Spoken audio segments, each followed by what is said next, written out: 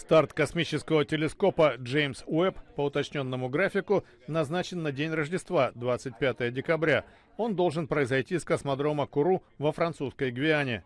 Если все пойдет по плану, научный комплекс, разработанный в основном корпорацией Northrop Grumman стоимостью 9 миллиардов долларов, отделится от европейской ракеты-носителя Ариан-5 через 26 минут полета.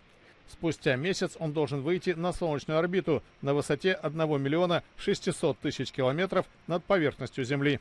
Джеймс Уэбб сможет заглянуть гораздо глубже во Вселенную, чем его предшественник Хаббл. Это станет возможным благодаря уникальному зеркалу, состоящему из 18 фрагментов, позволяющему вести наблюдение в основном в инфракрасном диапазоне. Хаббл работает в оптическом и ультрафиолетовом.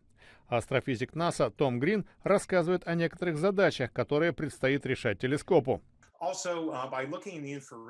Наблюдая в инфракрасном диапазоне, он увидит молекулы вокруг молодых звезд, которые только формируются. Мы узнаем, какие строительные кубики, важные для жизни, внедрены в их зарождающиеся солнечные системы. Благодаря Уэбу астрономам станут доступны прежде неизведанные уголки космоса, где находятся объекты, сформировавшиеся через 100 миллионов лет после Большого взрыва. Сам он произошел, по ныне существующим представлениям, почти 14 миллиардов лет назад.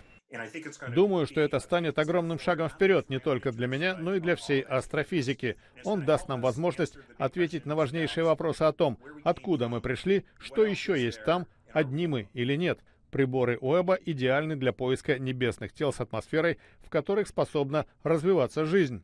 Речь идет о недавно обнаруженных экзопланетах. В поле зрения телескопа окажутся и близкие к Земле планеты Солнечной системы, такие как Марс и Сатурн с его ледяным спутником Титаном.